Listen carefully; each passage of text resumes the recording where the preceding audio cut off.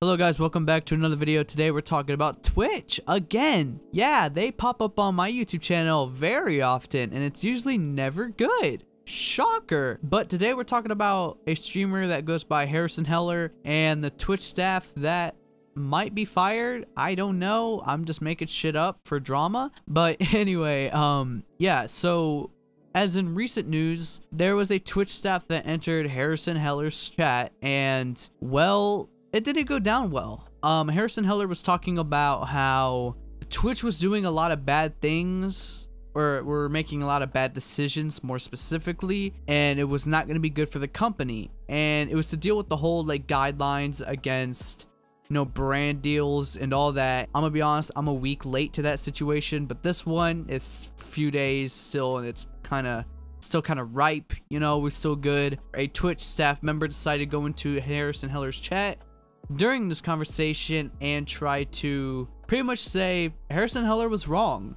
and that we were just interpreting things wrong from everything that's been happening. And realistically, that is not the case. I mean, let's be real. We were not interpreting anything wrong. All the information we needed was slapped in front of our face. I think what happened was you guys were in the wrong and you wanted to make us look like we were the dumb ones. I think that's the case here. Um, yeah, Harrison Heller and this Twitch staff member got into an argument, kind of an argument over the between him and the chat, kind of, you know, and eventually Harrison Heller tried to ban the Twitch staff member, and well, uh, you, well, you can't ban a Twitch staff member. That's like trying to kick the police out of a out of the police department. Not how it works.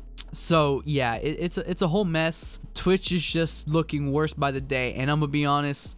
I love seeing Twitch fucking dig its own grave, but at the same time, I love the Twitch community. Even though there are a lot of toxic people in the Twitch community, I still like it a lot, and it's a very special place. It has created a lot of you know memes, a lot of a lot of moments, uh, a lot of memorable moments have come from the Twitch community and the streamers from there, and Twitch is slowly and slowly losing every day to, you know, YouTube, Kick, and all that stuff. And just a few months ago, Kick was the laughing stock of like, you know, these these platforms, and now they're like scarily getting up there with all of them. And you know, it's it's only gonna get like that more, especially with Twitch, you know, being the way it is lately. So um, yeah, I just wanted to get on the mic here and talk about this I know I'm not showing my face. I just it's too much effort right now.